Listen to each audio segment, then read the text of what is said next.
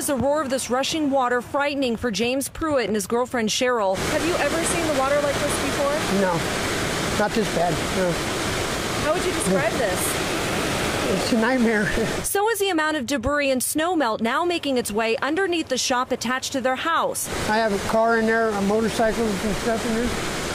You know, um, stuff that I don't want to lose. All my tools are in there. The couple first noticed the problem during a series of storms about two weeks ago. Our home is the main one that's getting affected, but also the, that one that's on the end that you've seen there. Yep, and they just they just finished remodeling that house. They tell me the flooding got worse just in the last couple of days, and they believe a concrete slab put in underneath this bridge to protect a water pipe is causing the water to back up. But that's not making room for the logs to go through.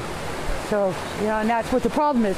There's nowhere for the logs, logs to go through. The Calaveras County Water District has a maintenance facility right on the other side of this road. It tells me that half of the road has now eroded away because of the amount of runoff, and it's concerned about a water pipeline being in jeopardy because it serves about 2,000 people here in the community. Today, workers came out to monitor that pipeline and a new one recently built next to it.